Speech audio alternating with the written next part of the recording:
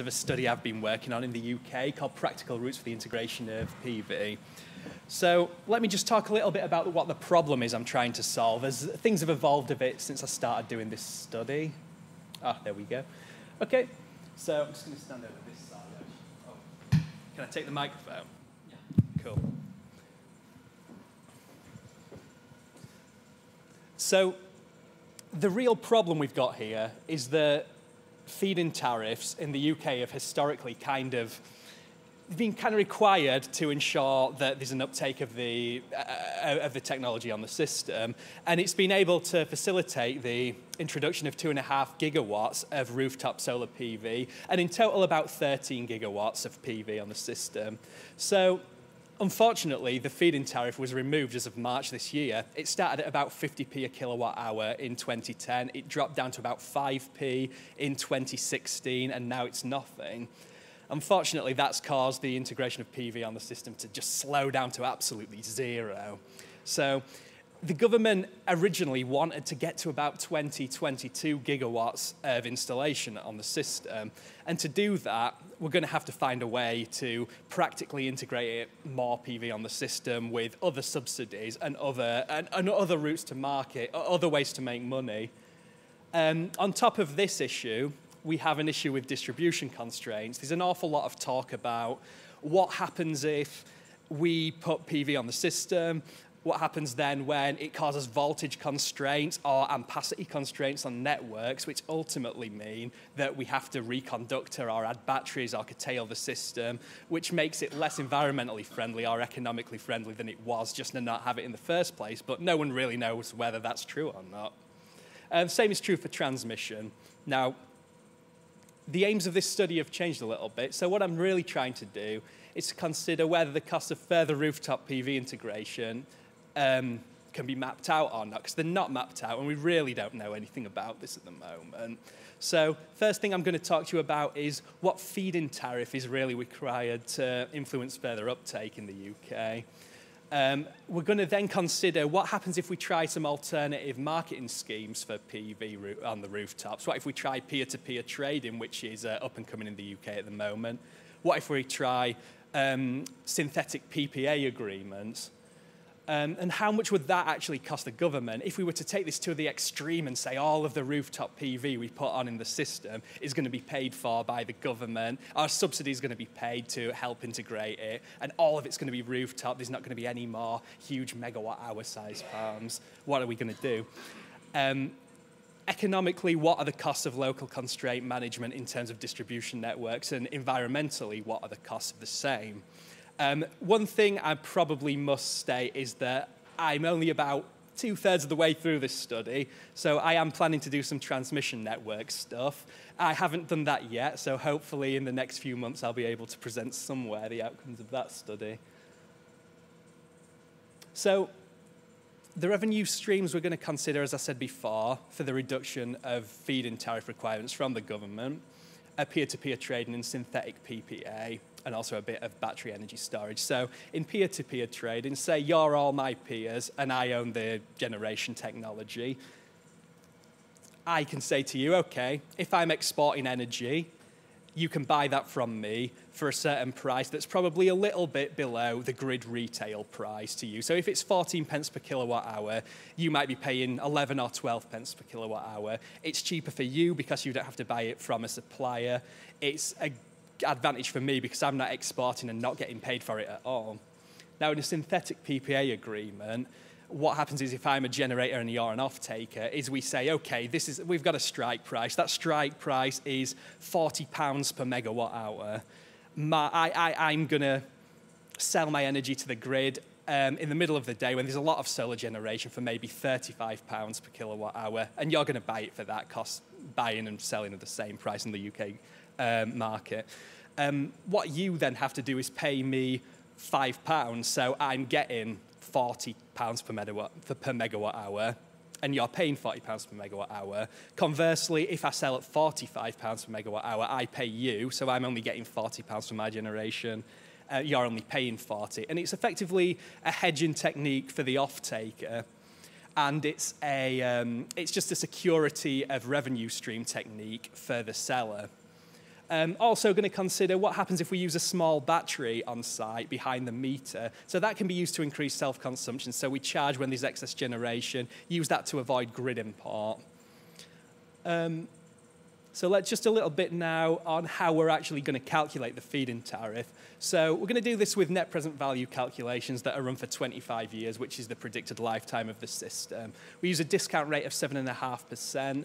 Um, and we estimate the cost as follows. So we have a cost of a PV array. That's in the first year. We assume that's paid up front at a cost this year of 65, uh, 6,500. If we do anything for future years, that drops in line with the EU projections. We've got balance of system cost, which is integrated into the cost in the first year, and then an inverter cost in the 12th and 13th years. And then we have um, any taxes on non-feed-in tariff income. So we expect that peer-to-peer trading and PPA would be taxable income. Profit-wise, um, peer-to-peer and PPAs, as I've just suggested there, we assume we just selling our energy to our peers for three pence less than the market price. PPA wise, we're assuming about three and a half pence per kilowatt hour, which is in line with current EU synthetic PPAs. Um, we use, we, we calculate how much revenue there could potentially be or how much yield there is for peer-to-peer trading, PPAs and self-consumption from time series analysis. So that's really laying a demand time series, a generation time series on top of one, uh, one another. If there's any excess in generation, that's exported and could be PPA. If there's exported generation, but that also overlaps with a peer's demand, then that could be peer-to-peer income. Um, we include a 3.5 kilowatt hour battery system, which is in line with Mike's style size systems that are currently being rolled out in the UK at the moment. Um, and we've written an algorithm that tries to maximize self-consumption and peer-to-peer trading, which I don't really have enough time to go through here, so I won't do that. We examine three retail electricity price increase per year scenarios. So if the retail electricity price goes up, then the value um, of electricity to the customer increases, and so does the value of peer-to-peer trading. So that could determine how profitable ownership of a system is. Um, we use the 7.5% discount rate because uh, what, what, we then do is we run the net present value calculation and iteratively increase the value of the government subsidy until we increase zero on that NPV calculation, which suggests we're getting a, re, um, a return of 7.5% a year once we get above zero with that discount rate. So once we've simulated all of these different situations, what we see is quite interesting in that although peer-to-peer is quite effective, it nowhere near removes the need for a government subsidy. So rooftop PV is nowhere near the point at which it can survive without a subsidy, as the government is suggesting at the moment. Although, if we look at the most likely case, the um, retail electricity price increase of 1.1% per year, it actually halves from about about 13 pence to about, about seven and a half pence per kilowatt hour, about halves the uh, requirement for a government subsidy there. And that's this year. If we were to put this in place this year, we'll talk about what would happen if we were to put this into place in the next few years on the next slide. Um, another interesting point here is that battery energy storage systems significantly increase the required feed-in tariff. So you might expect that the increased potential for peer-to-peer trading and self-consumption would make it a little cheaper. However, it costs an awful lot of money to integrate these lithium-ion storage systems behind the meter. So ultimately, it costs a lot more to run, and it's not really economically feasible.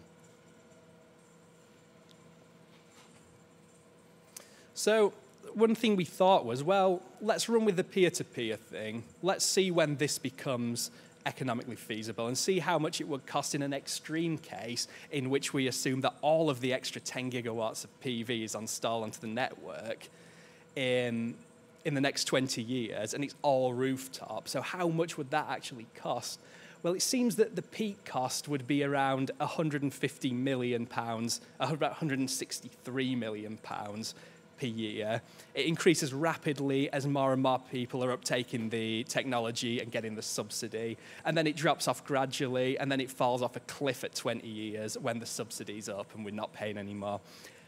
Um, so one thing we noticed was that in the 1.1% retail electricity price scenario, is that by year nine, the requirement for a subsidy drops to zero. So if we were to wait nine years and then just roll out peer-to-peer trading and never offer a subsidy, so by 2038, we could potentially integrate as much rooftop PV onto the network as we wanted to without having to worry about people taking it up because they'd be getting that 7.5% return on investment rate that would be required.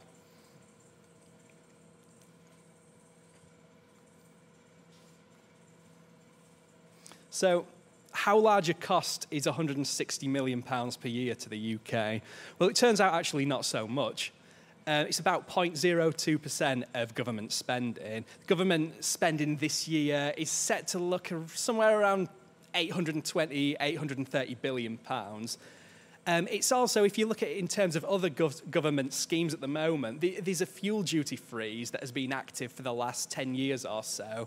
And it's thought that the, the cost of not tapping into that revenue by the government is effectively costing the government £9 billion a year. Now, it's controversial to call this a cost because is an untapped revenue a cost? I don't really know, and people might debate that. It's also a little controversial in the sense that. Um, it, fuel duty is enormous in the UK, so that's a bit of an issue. If you were to increase it, it might be met with quite a big political backlash. But even so, it just goes to show that just one energy bit, one bit of energy policy is costing the government. Oh, oh how far off the end am I now? It is, yeah, yeah. Oh, sorry. I thought you were telling me I uh, didn't have much time left. Uh, yes, sure. So that's the tax, yeah. Um, so if you were to remove this, you could pay for this maybe 50 times over. So it just goes to show the power of one policy. You know, the cost of one policy is nothing compared to what it would cost to get a bit of PV on the network.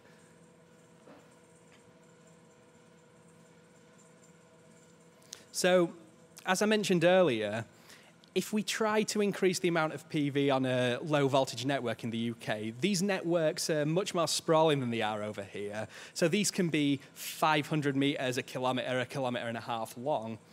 Um, when you're trying to push a lot of current down one of those, the impedance means it has to be facilitated by quite a high voltage rise. Um, if you're pushing enough down it, you will exceed the upper limit allowed on a UK low voltage network, and that's 253 volts. So we can see here for a, um, this is for a network with 75 loads on it. It has, um, it's about 700 meters, 600 meters long. Uh, it's got three phases. It's got a penetration of about 25, uh, 60% per phase. Sorry, 50, 50% per phase. Um, we're already exceeding that limit. I haven't put the numbers on the side, but the third phase there, it's hitting about 258, 259 volts. Um, so how can we stop this sort of thing from happening? Well, we can reconduct the network with thicker cables with much, much higher impedances, uh, much, much lower impedances, sorry. Or we could curtail that energy so we're actively preventing that current ever being pushed onto the network so it can't do anything. One thing we could use is battery energy storage, but I've done an awful lot of work into that in the last few years, and it would cost for a network like this with only 75 loads on it, I expect about a quarter of a million pounds. Uh, it's just not economically feasible, so we're not going to look at that. So we've done a little bit of work looking at reconductoring and how much it would cost to apply this to 29. Right, okay. Okay, I'm going to skip this. We don't need to know too much about that. So what we find is reconductoring is by far the cheapest way to do this. It's about half the price of curtailment. That's because if we curtail energy, we lose about 400 kilowatt hours of potential peer-to-peer trading. Um, if we install if we if we install cabling, it doesn't really make that much of a cost difference. We might only need to reconduct 80 meters of a network for a 40% PV penetration. That's not really too much of a problem. We can do that. It's not that expensive, about £8,000. So you can see how this can be a lot cheaper. Uh, we think that it will cost about, for the entire UK networks, in the worst case scenario, for uh, 40% penetration on a quarter of all networks for 10 gigawatts peak on the network, about, about 500 million pounds to do that. And that's a worst case scenario, in which case the DNO aren't reconductoring themselves. Um, do I need to stop there? I've got the odd extra slide. Last slide, right. let's just talk about this. So I did a little bit of work on how can we avoid uh, what's, the, what's the environmental cost of reconductoring networks? What's the environmental cost of um, putting batteries on networks to actively control current inject to prevent voltage rise and ampacity constraints? So I looked at avoiding PV installation altogether, and then I looked at using American-made and Chinese-made batteries and reconductoring the network, or curtailing energy. It turns out that although many argue that you could completely wipe out any economic and environmental benefit by doing this kind of thing to get PV onto the network, it's actually um, actually not that big a problem. In fact, the worst thing you can do is use Chinese-made battery energy storage systems of 13 kilowatt hours and a 5 kilowatt hour peak output. And that's only about a tenth as bad as completely avoiding one PV installation. And you could reconduct to hundreds of networks, and it wouldn't even dent the cost of one PV installation in an economic, in an environmental sense, in a CO2 sense. So I would have concluded there, but it looks like I've overrun a little bit. Sorry about that. So if anybody has any questions, and we've got time for that, please feel free to ask.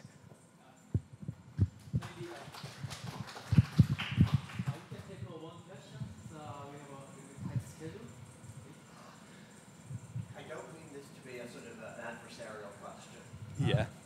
Do you think, given the need for the subsidy, that solar PV is the best renewable choice for the UK, or do you think something like nuclear is a better choice?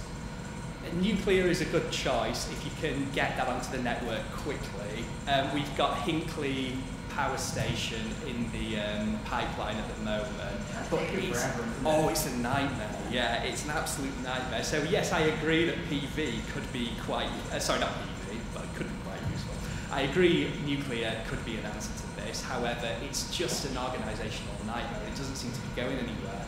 Um, as we say, we've only really got 30 years to sort this out, and you could give it nine years, wait, like I said, give it nine years, wait until PV is doable without a subsidy on rooftop, and just let things run. So um, that's always an option. We probably won't even have anything